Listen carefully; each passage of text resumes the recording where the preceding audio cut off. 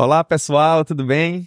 Nós estamos iniciando mais um Consciência Cristã Cast. Hoje temos um convidado muito especial que vocês conhecem bem, meu querido amigo pastor Renato Vargens. Nós teremos uma conversa muito agradável aqui acerca da participação do querido pastor Renato na 26ª edição do Encontro para a Consciência Cristã. Está no ar, Está no ar. Consciência Cristã Podcast. E eu, nesse momento, gostaria, como de costume, de recebê-lo, Pastor Renato. Seja muito bem-vindo aos estúdios da Consciência Cristã. Eu gostaria, em um primeiro momento, que o senhor se apresentasse, o pessoal já lhe conhece bem, mas que o senhor falasse um pouco né, a respeito do Senhor e daquilo que o senhor tem feito.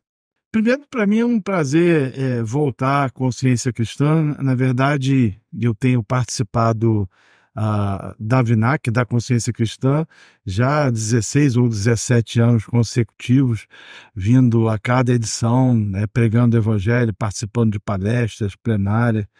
E é sempre bom, né? estar é, tá aqui de volta e poder colaborar com a Igreja Brasileira com pregações e exposições bíblicas. Para quem não sabe, eu sou do Rio de Janeiro, especificamente da cidade de Niterói. Sou pastor da Igreja Cristã da Aliança. Uh, sou casado com Ana Cristina há 32 anos. Temos dois filhos, um de 30, outro de 29 anos. Eu sou escritor, com aproximadamente 40 livros publicados em língua ah, portuguesa e um livro em língua espanhola. Tenho também procurado trabalhar com disseminação de teologia ou assuntos relacionados à cosmovisão cristã. É uma área que eu tenho trabalhado muito nas redes sociais. Uh, e pregado o evangelho onde Deus, assim, por sua bondade e graça, tem me levado. Muito bem. Torcedor do Fluminense? Absoluta certeza, o melhor time das Américas, né? Muito bem. Pastor Renato, é, como sempre, havia mencionado aqui, reitero, o senhor com a agenda apertada vai estar falando é, no Consciência Cristã uh, à tarde com o tema progressismo cristão. O senhor também vai estar falando no seminário de liderança espiritual, vai estar falando no Consciência Cristã Homens. Uh, também vai estar falando em uma plenária na terça-feira pela manhã e vai estar participando de um painel à tarde. Dizer para os irmãos que nos acompanham que todo esse conteúdo gerado pelo pastor Renato Vargens, demais preletores da Consciência Cristã, seja na edição atual, 26 edição, ou nas edições anteriores, Todo esse conteúdo está à disposição dos irmãos na plataforma da Consciência Cristã. Basta acessar conscienciacristã.org.br e todo esse material vai estar à disposição de vocês tá bom? Mas, pastor Renato, qual a expectativa para mais um ano aqui na Consciência Cristã? O senhor aí com a agenda lotada, muitas pregações, interagindo com muitos irmãos. Então, é, ontem eu cheguei, né? Cheguei é, é, por volta das 7h30, 7h40, e aí nós comemos alguma coisa e fomos direto lá pro, pro Parque do Povo. Eu fiquei impressionado com a quantidade de pessoas. Ontem, né? Muita né? gente. Ontem, né? Graças e, a Deus. E, e o que tem vindo uh, sistematicamente, é, ontem, na minha opinião, né? Pode ser que eu esteja equivocado, né? Mas eu achei que foi a, a, a, abertura com maior número Eu acredito que sim. Eu acredito né? que sim. Porque o número de pessoas ontem não era impressionante. Então, a expectativa é grande, né? Então, a gente vê é, as pessoas comentando nas redes sociais que estão é, vindo em caravanas de vários estados no Brasil, especialmente do Nordeste, pessoas viajando de vários lugares do país, uh, uma expectativa pelas, pela conferência, pelas pregações, pelas palestras. Né? Então, assim, isso também faz com que a gente seja tomado de expectativa, mas não somente isso, mas de uma grande responsabilidade, Sim. né? É, de ter que subir é, ao púlpito ou, ou, ou, aplicar uma palestra ou, ou uma aula para pessoas ávidas pelo evangelho, e a gente entende que precisa fazê-lo com responsabilidade e propriedade. Sim, de fato, de fato. Interessante, pastor, que nós temos uma quantidade é, maravilhosa de pessoas e as caravanas de fato só começarão a chegar a partir do sábado.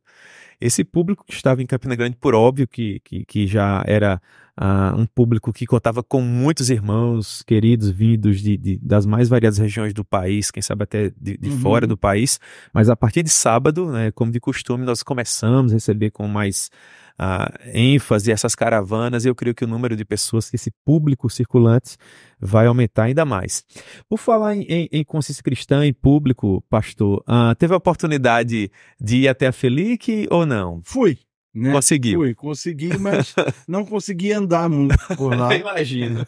E aí eu quero ver se eu hoje com calma, é, visita Felic, olhei os preços do livro, dos livros, eles estão absolutamente acessíveis né? e extremamente convidativos. Né? Ah, então, sem dúvida. O pessoal que estiver lá vai poder aproveitar a boa literatura por preço bom. Muito bem. Inclusive, já que o pastor Renato tocou nesse assunto, pessoal, por ocasião da Felic, né, Feira de Livro da Consciência Cristã, que talvez seja uma das maiores feiras de literatura evangélica do país. Eu acho que é a maior. A maior. É. Pois bem, por ocasião da Felic, nós temos descontos em alguns volumes de até 80% e todo o material que você comprar vai ser naturalmente dividido em até 10 parcelas sem juros, algo que é feito pela Vinac para tentar facilitar ao máximo o acesso de todos vocês a conteúdo evangélico de qualidade. E por falar em livro, nós temos aqui um autor prolífico, alguém que tem escrito muito, né?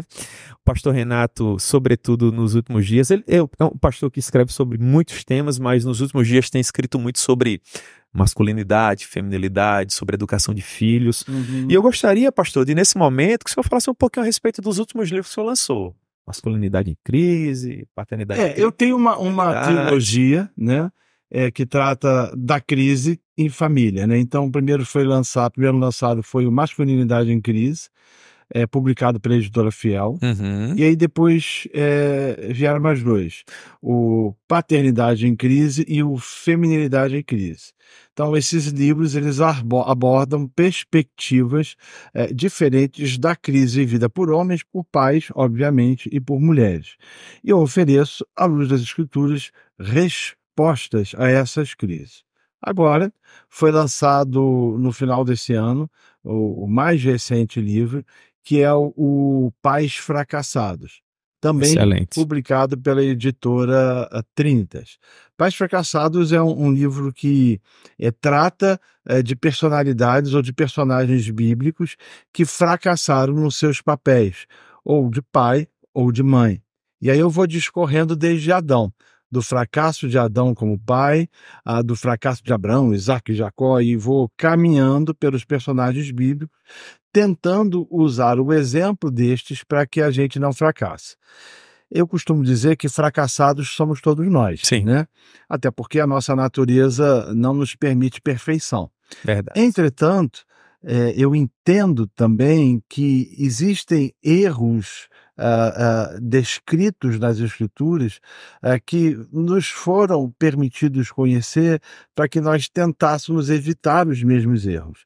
Então, Pais Fracassados trabalha nessa perspectiva de tentar mostrar a homens e mulheres erros de homens de Deus no passado uh, que cometeram falhas e que servem de exemplo para que a gente não cometa as mesmas. Muito bem. Inclusive, pastor Renato, são livros que naturalmente podem abençoar o, o leitor individual, mas que uhum. podem ser estudados em grupos, na igreja, Exatamente, né? podem ser discutidos por departamento de homens, de É mulheres. o que tem acontecido, né? Então, por exemplo, o masculinidade e o feminilidade tem sido, o masculinidade em crise, né, o feminilidade de crise, tem sido utilizado por departamentos de homens e mulheres em muitas igrejas, né? Seminários, congressos. Sim, congressos, né? já tenho é, visto. Com conferências, né? Então, é, ele surge com isso. E é interessante que é, esses livros, é, principalmente o Paternidade, é, é, é, Feminilidade e o Pais Fracassados, ele vem com perguntas para que o sujeito possa responder individualmente ou em grupo. E a ideia é promover discussão debate em cima daquilo que foi dito, a fim de que isso possa gerar uma aplicação prática na vida da pessoa. Fantástico. Inclusive, pastor, são, são assuntos que eles podem ser tratados, discutidos até por casais recém-casados que estão planejando ter filhos já para começar a educação de uma maneira bíblica, então, eu, centrada eu, eu nas escrituras. Falar, a, a gente se prepara para para praticamente tudo na vida, né? Se a pessoa quer ser médica, ela vai passar alguns anos na universidade. Se ela quer ser é, advogada, da mesma forma. Se ela quer um curso técnico, ela vai precisar aprender, por exemplo, eletricidade, né? É, um, um, pedreiro vai precisar aprender o ofício com alguém. Mas ninguém se prepara ou está disposto a aprender, primeiro, como casar, ou na verdade, como é o casamento, porque o casamento ele, ele é cheio de altos e Sim. baixos, né? É, são duas pessoas diferentes passando a conviver é, juntas e com perspectivas e percepções diferentes verdade. e que gera comumente choques, como também a criação de filhos, né? Então o cara chega, é, tem um sonho de ter um, um filho, a, a, moça tem um sonho de, de, gerar uma criança, e quando pega aquela bolinha né, na mão, né, fala assim, o que, que eu vou fazer com isso, né? E aí tem as fases, né? as, as etapas da vida, né? é, desde a, da, do bebê, passando pra, da, pela pré-escola, caminhando até o, o, o, o, ensino fundamental, enfim, e, e, até chegar à universidade e até os filhos irem embora. E, e, até mesmo quando os filhos vão embora, você precisa saber como se relacionar com eles. Sim. E no Pais Fracassados eu vou tratar disso, né? Eu vou usar exemplos de pais que fracassaram. Por exemplo, vou citar o exemplo aqui de, de Adão. A gente é, é, costuma usar a, o erro de Adão muito uh, do ponto de vista de que ele falhou na proteção uh, da sua mulher e, e, e, o pecado entrou porque ele não guardou o jardim. Sim. Né? é, ele errou e falhou, sem sombra de dúvidas, uh, no seu relacionamento com Eva. Mas depois da queda, você vai perceber também que ele erra no seu relacionamento com uh, os seus filhos. Porque, por exemplo, ele vê que Caim nutria no coração um sentimento ruim é, em relação ao seu irmão, e a Bíblia vai nos mostrar que quem chama a atenção de Caim não é, é Adão, mas o Senhor. Sim. Né? Então, isso nos mostra claramente essa omissão, até mesmo, a, a dele para com os seus filhos, e nesse contexto, filho adulto. Ou seja, e eu vou dissertar, por exemplo, dentre este e outros capítulos, né, de que apesar dos filhos se tornarem adultos, os pais precisam ser advisors ou conselheiros dos filhos para que esses possam evitar erros a gente vai ver o mesmo comportamento, por exemplo, em Eli, mas ele teve problemas mais graves, Sim. né? Onde ele vai tentar aconselhar os seus filhos, olha, não é bom isso que vocês estão fazendo, seus filhos já não ouviam mais.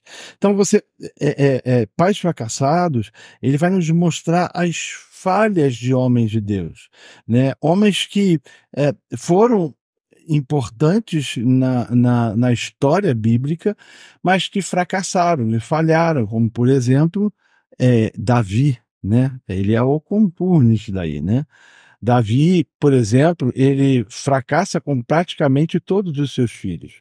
Eu vou citar alguns exemplos, entre eles eu vou citar a história de Agonias. Né? Diz que o seu pai jamais o repreendeu. Meu Deus. Então, é, você vai perceber que a, a, ausência de repreensão. Então, eu vou tratar sobre disciplina, vou tratar sobre limites. A gente vive numa geração hoje completamente sem limites.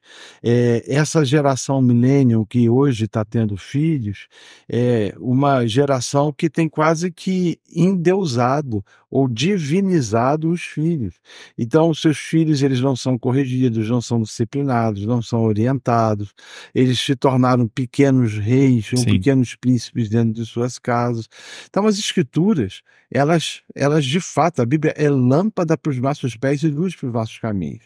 Então, você vai ver vários exemplos, mas inúmeros exemplos, né?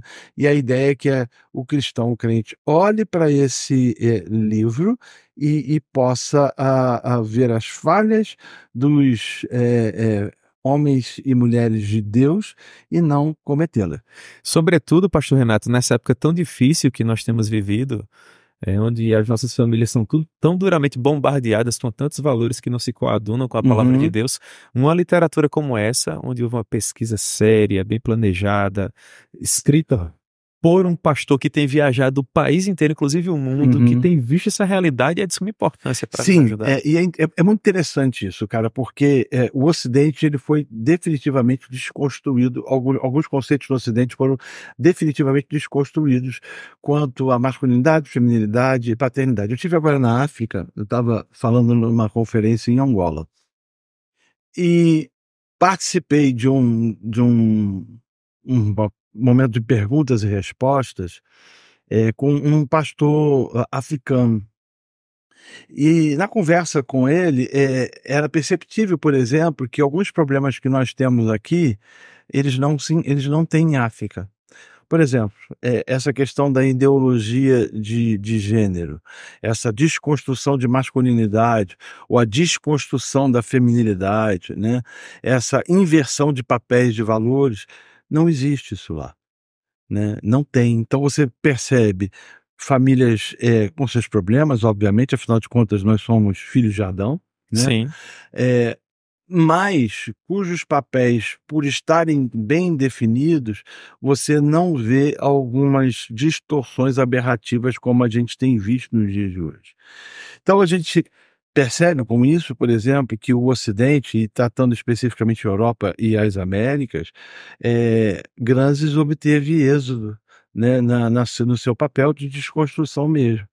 Então, a, a, você vai perceber que, ao contrário disso, a África não, não tem vivenciado esse tipo de problema. Claro, você vai encontrar os seus bolsões, as suas, né? Mas não do ponto de vista de uma interferência da agenda é, do país quanto a isso, porque as o conceito está muito bem definido.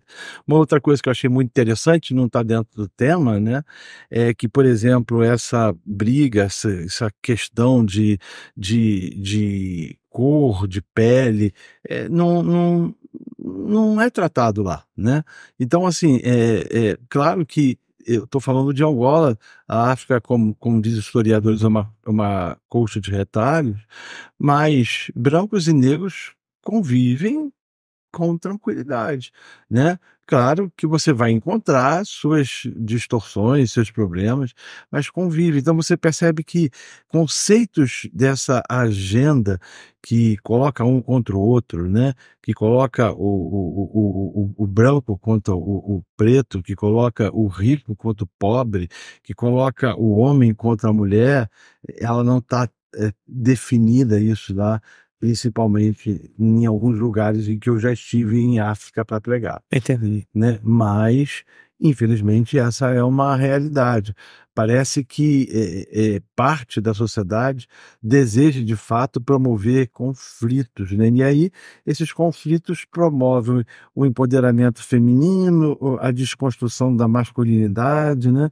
Então, você vai ver é, conceitos é, é, que até alguns anos atrás eram inegociáveis, hoje sendo negociados. Então, é, assim, isso é muito preocupante, é. muito complicado. E o senhor menciona essa agenda, essa desconstrução de conceitos, faz parte de uma das suas falas na consciência cristã. Sim, o senhor é. está falando sobre progressismo cristão. Sim. Progressismo cristão, pastor Renato. É, assim, eu acho o, o, o, o termo ambíguo, né? né? Não tem como você é, defender as pautas progressistas em detrimento àquilo que o cristianismo pensa e aquilo que o cristianismo defende, né? Ainda que estejam ou tenham tentado é, transformar o cristianismo numa pauta social, mas o cristianismo é muito mais do que uma pauta social. eu bem sei que a igreja, aonde chega, a história nos mostra isso, ela produz transformação na vida da sociedade. Por exemplo, a Genebra de Calvino, quando quando a reforma protestante começa a se fazer presente ali naquele país, as pessoas costumavam jogar os seus excrementos pela janela, é, o, o, os roubos eram, eram comuns, então o sujeito que estava no comércio ele tinha que estar com um olho no padre e outro na missa, a desonestidade, Havia até um ditado na época que, um ditado não, uma lei, desculpa, que dizia que o homem só tinha direito a ter uma amante, era uma sociedade perversa. Mas o evangelho, quando chega, ele muda aquilo dali. Sim. Né? É, promove a escolaridade, é, aumenta o nível de, de educação cultural, né? é, é quando as escolas é, elas começam a, a a serem ampliadas do ponto de vista para que o cidadão pudesse ter contato com a educação. O mundo muda, porque a igreja, onde chega, ela muda. Sim. Mas o papel da igreja é, é pregar o evangelho, porque é o evangelho que promove mudança no coração das pessoas, e não uma ação social que promove mudança no coração das pessoas. A única coisa capaz de, de mudar ou de transformar a vida do pecador é o evangelho do Senhor Jesus Cristo.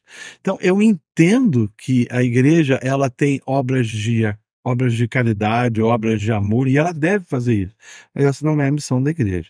Entretanto, a gente vê nos dias de hoje as pessoas tentando transformar o papel da igreja em assistir aos pobres, sei que, contudo, pregue-se o evangelho e anuncie-se as boas novas de salvação ao coração do pecador. É, Interessante que esse ponto que o senhor mencionou foi também mencionado pelo querido pastor Hernandes Dias Lopes na fala dele em um dos plenários da Consciência Cristã, e, e na fala dele ele mencionava a, a teologia da libertação, uhum. a TNI, que de certa forma influencia o pensamento dessas pessoas, né? Uhum. Tem a ver, quem sabe, com essa questão desse progressismo cristão, dessa, dessa confusão entre qual o papel das a, obras a dentro da salvação. É que as pessoas é, é essa eh, teologia tão é, é, maléfica, porque diz que Jesus foi morto e preso por um sistema, e aí desconstrói a ideia de que a morte de Jesus se deu de forma vigária. Então eles tentam transformar a morte de Jesus por uma questão política. E aí, por ser uma questão política, desconstrói-se o conceito até mesmo de ressurreição corporal Sim. e, por conseguinte, de volta corporal de Jesus Cristo para buscar os seus. Então, assim, é, é tudo isso envolvido e embasado nessa maldita teologia liberal teologia liberal é maldita, ela é perniciosa, né? Ela desconstrói a veracidade das escrituras, ela tenta desconstruir e, obviamente, que ela acaba induzindo os incautos a caminhos errados, né? Então, Jesus não morreu por uma questão social. Jesus morreu por causa de pecadores, para que pecadores tivessem a possibilidade de arrependimento e, mediante a fé nele, em Jesus Cristo, fossem salvos, justificados diante do Pai, herdasse a vida eterna e recebesse na sua volta um novo corpo, uh, uma nova vida para viver no novo céu e na nova terra. Dentro, pastor, desse seu comentário, eu sei que o senhor é uma pessoa preocupada com a nossa cosmovisão, tem contribuído para a construção dela, né, para o nosso imaginário evangélico cristão aqui no país. Dentro das suas pesquisas, nós podemos esperar algo nesse sentido, algum livro que está sendo produzido, algo que o senhor possa estar trabalhando dentro dessa temática, dessa seara? Aí, tem escrito muito. Eu tenho escrito muito, mas a, ainda não. Né? Há dois livros que eu estou é, é, trabalhando, pelo menos um deles a gente vai lançar esse ano.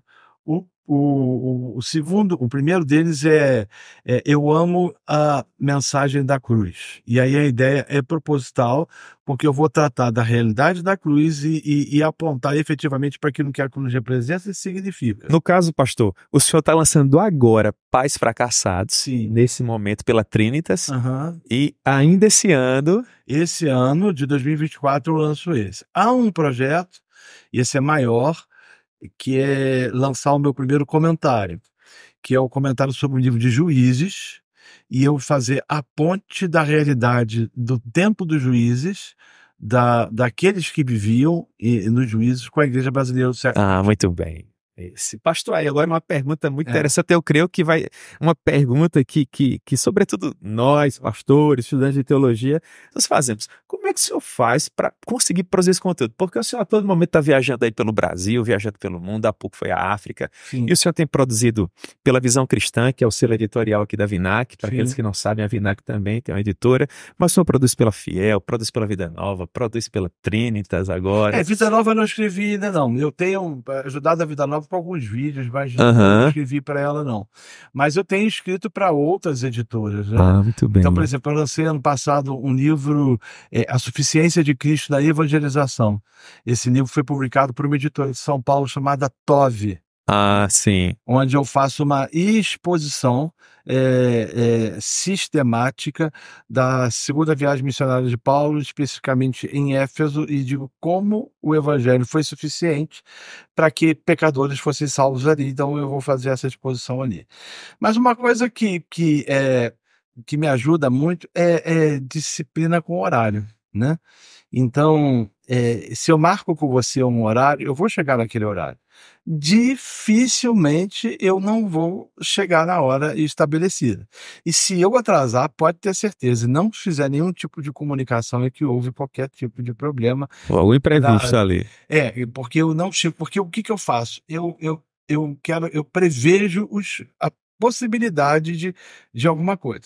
Então, é, se o meu voo é duas horas da tarde, eu vou chegar às 11 no aeroporto. Porque eu estou prevendo de que pode ter algum problema que me impeça de chegar. E, nessa- e nessas horas de espera, Exatamente. Então eu levanto muito cedo, né? Cinco e meia da manhã, em boa parte do- dos dias eu já estou de pé, e também durmo cedo. Nove e meia eu já estou dormindo.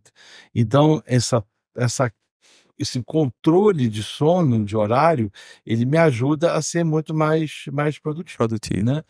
Ah, e aí eu vou para a minha igreja e, e lá eu, eu, eu produzo mais, né? No meu gabinete eu consigo produzir muito mais, né? É, mas com muita disciplina. Então, eu atendo na, os gabinetes pastorais, né? Que não são poucos na, na, na igreja. Eu preparo os sermões, meus sermões, tem sermões que demoram em média de 16 horas para serem preparados. Se eu não tiver disciplina com hora, Não tem como produzir tanta coisa. Exatamente. Agora eu costumo brincar, graças a Deus, Deus. Agora meus filhos são adultos, já ah, não moram mais com a gente, mas eu costumo, costumo brincar que Deus, é, pela sua bondade, me deu filhos. Porque homens, meninos, para se arrumar, quando, né? é, dez minutos antes eles trocavam de roupa e estavam prontos. Eu fico imaginando se eu tivesse, em vez de dois filhos, duas filhas, eu estava lascado. Porque as mulheres, as mulheres para se arrumar, é, é, esse vestido tá bom, né? Aí muda o vestido, muda a roupa, a, a maquiagem e tal. E aí, imagina você com, com três mulheres, quatro mulheres dentro de casa. Eu acho que iria enlouquecer por causa da minha pontualidade. É, eu tenho que gerenciar melhor. É. Ter uma moça. Pastor, nós falamos um pouco a respeito né, de produção literária, mencionei essa questão de organização de horário com, com ministério, a Uhum. maneira com que nós pastores precisamos organizar o nosso tempo para produzir melhor para o Senhor. Ah, interessante, o senhor também vai ter uma fala né, no, no seminário de liderança. Boa. Ah, como pensar, pastor, a questão dessa liderança nos dias atuais? Como o senhor tem visto o desenvolvimento ah, da liderança no, no que diz respeito à, à influência ministerial, pastoral do fato em nosso país? Como é que o senhor tem visto É, essa eu relação? acho que, assim, é, eu vou usar as escrituras, obviamente, eu vou usar o modelo de Paulo de formação de líderes e de treinamento de líderes. É, que se dá, obviamente, na base do discipulado, onde ele treinava e capacitava do ponto de vista ministerial né, aqueles aos quais ele entendia que iriam servir a igreja. Hoje a coisa é diferente, né? Hoje você percebe que eh, pastores foram substituídos por coaches, né? Muita gente não gosta de mim por causa disso, né? Porque eu bato pesado nessa questão de coach, né? É, transformar o, o evangelho é, numa mensagem de exaltação do homem, né? Quando eu vi um coach dizendo o homem não é tão mal assim, né? O homem é, tem suas virtudes e seus valores, ou mesmo outro dizendo não, Deus olhou para você e viu que você tinha um potencial muito grande, por isso ele resolveu te salvar. Eu vejo que o que está sendo ensinado é falso e espúrio. E muitos pastores têm tentado é, formar líderes nessa perspectiva, sem que, contudo, obtenha êxodo por um, um, um ponto muito claro. Só quem pode formar líderes capazes de suportar a pressão do ministério é aqueles que, de fato, anunciam e proclamam o evangelho. Infelizmente, pastor, é, a, a influência dessas pessoas elas têm causado um problema, porque muitos que acompanham essas pessoas nas redes sociais, alguns deles têm milhares de seguidores, infelizmente têm confundido o que de fato é evangelho do que aquilo que é mera autoajuda. Uma Sim. coisa é autoajuda, outra coisa completamente diferente é a mensagem da cruz ensanguentada, o que causa também um problema para a igreja, porque existem os obstáculos para a expansão Uhum. do reino de Deus, e eu creio que a propagação do falso evangelho é um desses obstáculos. Sim. Você, você ter que, por exemplo, evangelizar uma pessoa que, que, que, que está na igreja há algum tempo e que caminha com base não necessariamente no poder da cruz, mas da autoajuda. Vou te dizer, é, a teologia a, da prosperidade é nefasta, mas a teologia do coach consegue ser pior. Ela é mais sutil, né, pastor? Ela consegue ser pior. Quando ela diz, você é o coração de Deus, né? Quando ela é, mostra um, um, um Deus é, permissivo, um Deus popotão, um Deus que é pop, que é, que é bonzinho, mas que não confronta os homens nos seus delitos e nos seus pecados, né? Então a gente vê que isso é muito sutil e ela acaba promovendo a relativização das escrituras e uma reinterpretação daquilo que se considera bíblico à luz de uma sociedade extremamente hedonista e que vive especificamente por causa e em busca do prazer. Sim. Nesse sentido, pastor, o evangelho, naturalmente, ele precisa ser pregado, ele deve ser pregado, essa é a missão da igreja. E toda essa discussão, ela acontece quase que exclusivamente no campo da internet, das redes sociais. É uhum. É ali que, que, os, que os teólogos do coach se encontram, não é? Como a igreja pode ser uma resposta a isso? Como a igreja pode tentar alcançar essas pessoas que têm sido influenciadas por essas mensagens que, de fato, não são evangelho, para ser uma espécie de contrapartida a essa influência tão grande? De algumas formas. Primeiro, ela precisa ser propositiva. É, é, não é dizer é, tá errado sem que você possa trazer a, o, o que é que é certo, né? Trazer uma, uma, uma, uma, uma proposta, uma uma, uma percepção correta. Segundo, para que isso aconteça, você precisa trazer as escrituras para o centro, né? Então, é, infelizmente, boa parte das igrejas elas não estão preocupadas em trazer as escrituras para o centro. Elas estão preocupadas muito mais em números, né? Ah, essa percepção megalomaníaca que tomou conta da igreja evangélica brasileira é muito preocupante, né? Então você vai perceber aquela coisa sempre de querer ah, fazer tudo o que for possível, ainda que seja necessário negociar o evangelho para que uh, as pessoas possam ser atraídas ou, ou, fazer parte de suas comunidades. Terceiro, a desconstrução do politicamente correto. Então, a gente vive num tempo onde o politicamente correto ele é ele é sine qua non, né? Então, você é, é, é não, não quer de forma nenhuma criar qualquer tipo de constrangimento. Mas o evangelho, ele por si só, ele constrange, né? O evangelho por si só, ele é uma ofensa, né? Sim. Então você chega para o indivíduo e fala o seguinte, você é pecador, né? Você está destinado à morte eterna, a não ser que se arrependa dos seus pecados. E o sujeito fala assim, como eu sou pecador, né? Ele, eh, dentro de sua percepção, uma pessoa correta, honesta, uh, não defrauda, não rouba ninguém, é uma família estabilizada, sou pecador como, né?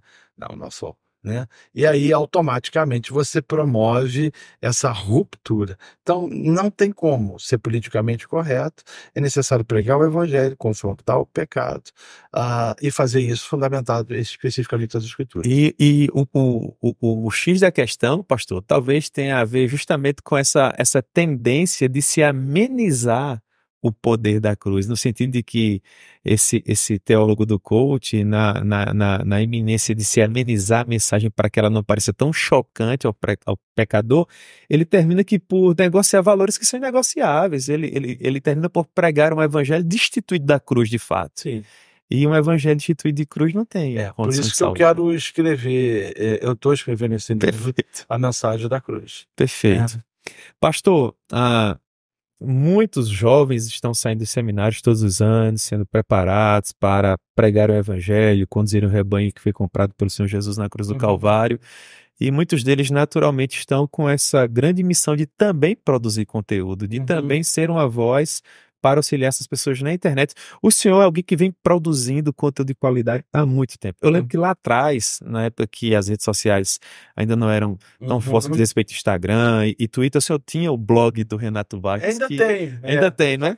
É, pois é. Desde aquela época que já havia esse, essa preocupação de produzir conteúdo de qualidade, eu lembro muito que na época o senhor escrevia muito no blog, tinha o Tempora Amores, né, do pastor Augusto, pastor uhum. Solano, pastor Mauro, enfim.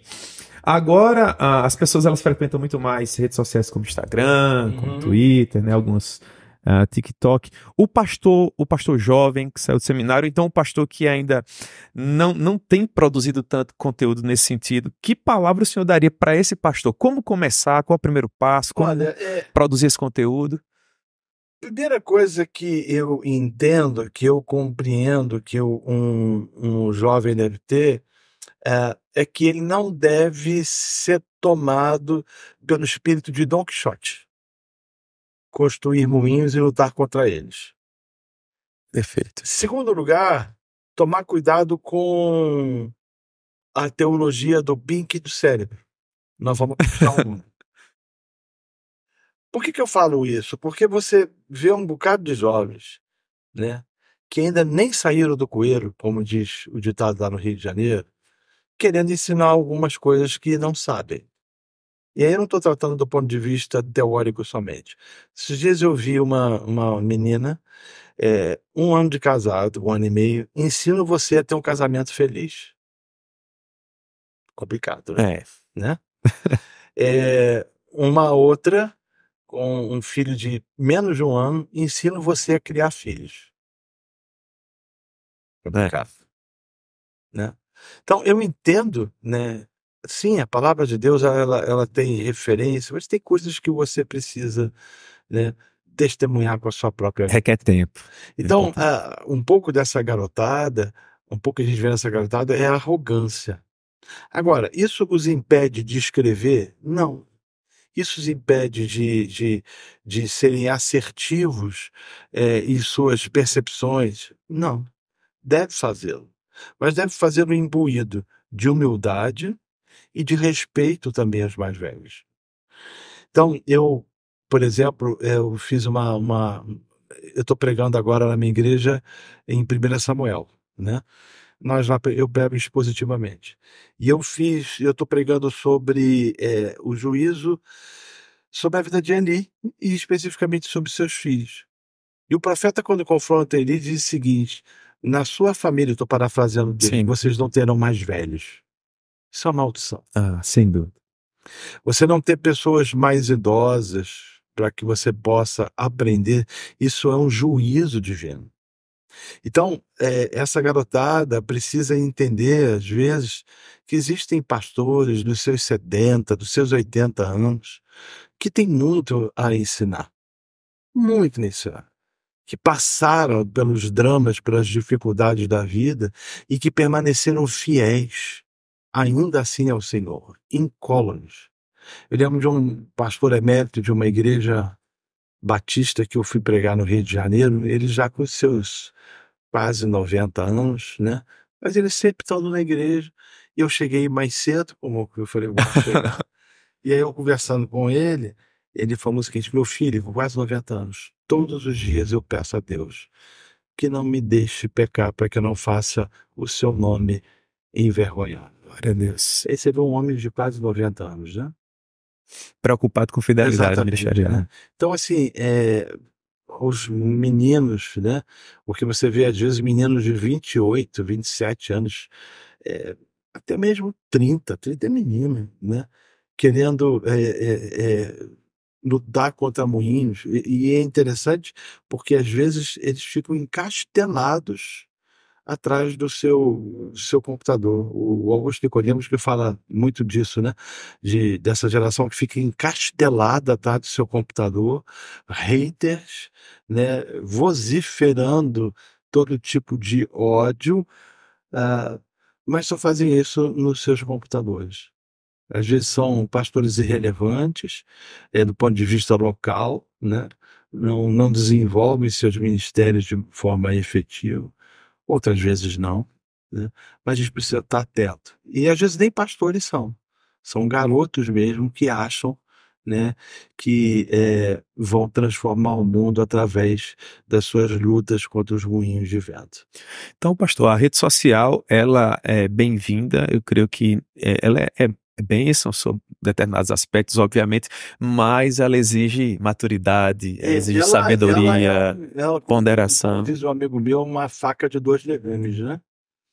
É, você tem a possibilidade de, de, construir, mas você tem também a possibilidade de destruir a vida de pessoas, né? Então você Perfeito. vê nas redes sociais um bocado de fofoqueiros, de fofoqueiras, né? Caçando né, informações para que possam aumentar os seus números de curtidas. É. Glorifica Deus. Né? Verdade, verdade. A, o ideal seria uma rede social nesse sentido propositiva. Com a ambição de expandir o reino, exatamente. de manifestar é, a glória do Senhor. Você é? pode até contrapor-se às doutrinas, né? Contrapõe-se. Não tem nenhum problema. A questão é não promover ataques ad hominem contra quem quer que seja, né? Uh, e desconstruir os erros, mas com respeito a, a pessoas. Né? Sim, sem dúvida, sem dúvida. Pensando nessa área da cosmovisão, pastor Renato, é, o senhor também tem, tem se engajado, tem feito uma boa leitura do cenário atual, do nosso país. Como, como trabalhar, pastor Renato, essa, essa cosmovisão de modo a fazer com que a igreja se torne, dentro desse, desse aspecto propositivo, com, com todo respeito, naturalmente, como, como, pensar uma igreja mais relevante nesse sentido? Como encaminhar melhor essa nova geração que vem surgindo para produzir esse, esse conteúdo de qualidade e gerar essa expansão sadia no sentido de, de atrair o pecador rendido aos pés de Cristo? Eu acho que é, é você já disse, né? É, é, é tentar criar uma igreja que consiga trazer respostas à sociedade a qual a gente vive à luz das escrituras. Então, assim, é, a cosmovisão é um óculos que a gente usa, né? Então a gente tirou as escrituras, a gente tirou a palavra de Deus, tirou a centralidade uh, da, da, da Bíblia e colocou outro tipo de óculos. Marxismo cultural, por exemplo, é, o feminismo, no Feminilidade em Crise, eu, eu, eu faço um, um uma leitura e eu trato especificamente do problema do feminismo nas suas ah, três ondas. É, por exemplo, tem um capítulo em que eu vou tratar daquilo que eu chamo de teologia da moda. O senhor, inclusive, tratou sobre isso na edição anterior da Consciência Cristã. Sim, né? exatamente. Eu tratei exatamente isso. Né? Então, a teologia da moda, é, quando Adão e Eva caem, eles ficam nus. A queda, ele promove, promove esse tipo de, de, de. Eles descobrem que estão nus, né? Eles promovem, promovem esse tipo de roupa que cobre parte, porque diz o texto que eles fizeram uma, uma uma, uma, um tipo de proteção que, que cobria parte do corpo, né? E aí depois você vai ver as escrituras mostrando o Senhor matando o animal para que pudesse cobri-los efetivamente. Então, é, é, o mundo ele nos traz uma cosmo, uma visão de, de vida, de, de, de comportamento, de família, absolutamente absurda e malignidade proveniente é, dessa sociedade é, desprovida do Evangelho, desprovida de Cristo. Então a gente precisa ensinar qual é a visão na igreja. Só que os pastores, além de terem uma visão é, moldada por esse sistema, não querem. Porque é, é, traz aborrecimento, é. traz conflitos, né? É. Então você tem que conflitar com algumas coisas, né? Então tem gente que não está disposta a isso, não está disposta e faz vista grossa e permite com que o pecado adentre sobre a vida da igreja. É. Inclusive, mencionar para vocês né, que todos esses livros, naturalmente, ah, já estão à disposição de vocês nas, nas livrarias espalhadas por todo o país. E o Pais Fracassados, que é o livro que está sendo lançado agora, já está à disposição também, né, pastor? Já, já à disposição. Disposição a todos vocês aí, material excelente para ser trabalhado em, em, grupos pequenos na igreja, para ser trabalhado em congressos. Já havia alguns congressos em nossa região trabalhando esses temas com base nos livros do, do pastor Renato. É um assunto muitíssimo oportuno, é o que nós de fato precisamos conversar, tratar a respeito. Nós temos enfrentado sim essa crise de paternidade, nós temos tido que lutar de fato com esse fracasso, né, dentro dessa, dessa educação, e, e eu concordo com o que o senhor falou em determinados aspectos. É, todos nós somos esses pais fracassados que precisam da graça de Deus, né? Somos essas pessoas que, que precisam da ajuda do Senhor para educar bem Exatamente. os filhos, né? É. Sem sombra de dúvida. Estamos perdidos. Né? Meu Deus é. do céu, meu Deus. Pastor Renato, o senhor com essa agenda lotada aqui, iniciando os seus compromissos na consciência cristã, eu estava dando uma olhadinha aqui é, em tudo aquilo que o senhor vai estar fazendo, como eu falei para o pessoal, Uh, são pelo menos aqui cinco ou seis falas. Uhum. E o desejo do meu coração, pastor, é que Deus lhe use com poder e glória, que muitas vidas sejam abençoadas. O Senhor produz aí um material que de fato vem abençoar muitas vidas, porque eles, esses, esses materiais, eles nos abençoam ao tempo em que essas mensagens são entregues nas plenárias, nos painéis, nos seminários, mas esse material também fica aqui é, guardado, nós lançamos, né, na plataforma da Consciência Cristã e ele passa a abençoar as pessoas por um tempo aí, que a internet também gera, gera essa benesse, sim, não é? Sim. Pastor Renato, o que esperar de sua participação aqui na Consciência Cristã? As pessoas vão estar ali pelo tabernáculo, pelos, pelos espaços anexos, onde funciona toda a estrutura da consciência cristã. Uhum. Qual é a sua expectativa para essa próxima participação no evento? Assim, é, muita responsabilidade, né? Ao mesmo tempo, temor, né? É, subir ao, ao, ao púlpito para ensinar e para pregar sempre deveria gerar temor, né? Então, eu subo com, com temor, mas ao mesmo tempo querendo ser propositivo e tentando, de alguma forma, através do pouco conhecimento que eu tenho, ajudar as pessoas a crescerem no conhecimento do Senhor Jesus Amém. Cristo. Amém. Como de costume, pastor Renato, nós infelizmente já estamos caminhando aqui para o final da nossa conversa, passa muito rápido, é verdade. Como de costume, pastor Renato, eu gostaria que o senhor deixasse uma mensagem, uma mensagem de encorajamento para aqueles que gentilmente nos acompanharam até aqui. Gostaria desde já agradecê-los a gentileza de terem participado desse bate-papo tão agradável com o querido pastor Renato Vagem, tão uhum. conhecido, um homem que tem nos abençoado há tantos anos em tantos encontros para a consciência cristã. Pastor Renato, uma mensagem aí para aqueles que nos acompanharam até aqui. É, uma, uma coisa que eu tenho pensado, a gente olha para a sociedade a qual a gente está inserido e a gente impreterivelmente se sente tentado a ser extremamente pessimista. Os dias são maus, as notícias que nós ouvimos são sempre ruins, uh, o pecado parece que de fato ele tem se multiplicado, a iniquidade se faz presente, o amor se esfriou, falsos profetas e falsos mestres têm se levantado a cada dia. O ódio ao evangelho e ao cristianismo, ele parece que entrou numa ascendência. E a gente olha para isso tudo e a gente fala: o que será das nossas vidas? As nossas vidas é, estão fundamentadas no Senhor e a nossa esperança está em Cristo, não em nós mesmos, né? Somos miseráveis, é. pecadores, né? Estava é, até ouvindo um, uma pessoa falando assim na internet, né? É, não sei nem quem é. Ela dizia assim: quando chegar no céu, a primeira coisa que eu vou perguntar ao Senhor é: por que que tu me chamaste? Não tem nada de bom. Pelo contrário, né? só coisa ruim. É, mas a nossa esperança está em Cristo. Olhe para Cristo, olhe para Jesus, olhe para o Senhor, não olhe para as circunstâncias, mas olhe para Cristo. É. Amém. Glória a Deus, glória a Deus. Pastor, vai sobrar um tempinho para aparecer na igreja, Pastor Jorge? Espero que sim, né? É, é. é. Vamos combinar, a gente está combinando que é. você esteja lá assim. Nós aqui que somos de Campina Grande, todos nós sabemos o pastor Jorge Noda, muito conhecido de vocês também, faz parte da mesma denominação que o pastor Renato Vargas. O pastor Renato, sempre que vem a Campina Grande, tenta encaixar um tempo para estar lá com os irmãos. É uma dificuldade, mas dessa vez eu vou conseguir sim. Então, irmãos de Campina Grande, presta atenção aí, talvez o pastor é. Renato esteja por lá, vocês podem aparecer para para dar um abraço no pastor Renato e ouvir a mensagem do Evangelho. Pastor Renato, Amém. muito obrigado por gentilmente ter cedido espaço na sua agenda abarrotada de compromisso aqui em Campina Grande para conversar um pouco conosco. Que Deus possa abençoá-lo, conceder-lhe graça, para que o Senhor pregue o Evangelho com muita propriedade, abençoando muitas vidas para a glória de Deus. Amém. Amém. Muito Amém. obrigado a todos vocês que nos acompanharam. Deus abençoe e até o próximo Consciência Cristã Cast. Fique com o Senhor.